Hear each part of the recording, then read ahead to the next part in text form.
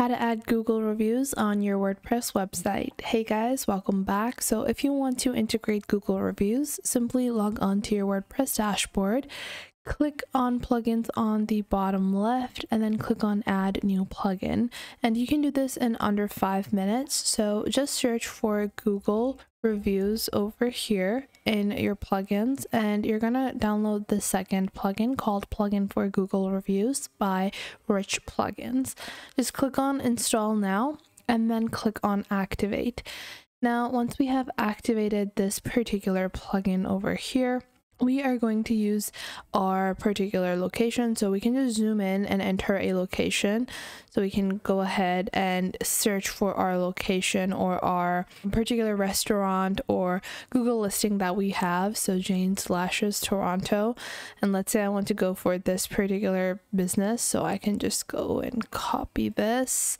And then i can just enter my location over here and then after that, you can see on the bottom, you have your place ID. Now, the easiest way to find your place ID is to search for your business listing on Google. Just open it up on Google. Let's say this is my business. And what you're going to do is you're going to scroll down and you're going to click on the write a review section.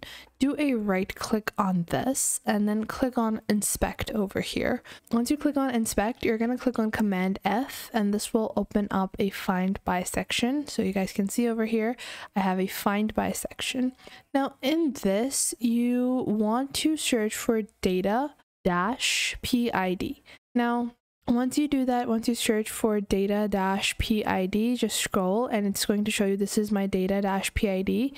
And it says, so over here, where did it go? Let's search for it again.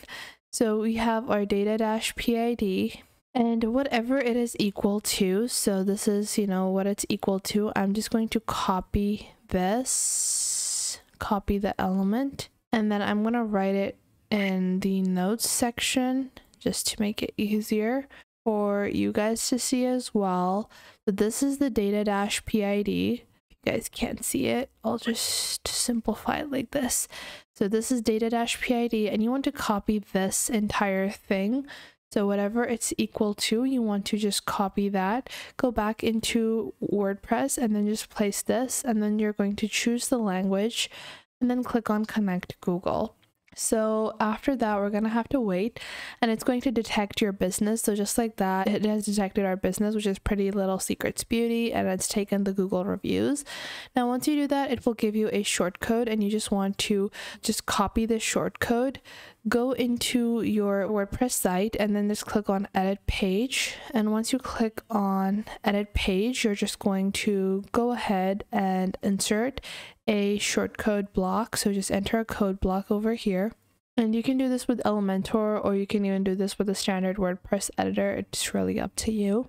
And I'm just going to drag our short code over here and then I am just going to enter our short code like this and just like that you guys can see the changes have been applied now i can just click on apply and click on update and then just like that our review widget has been inserted and i can move this to the top like so, like this.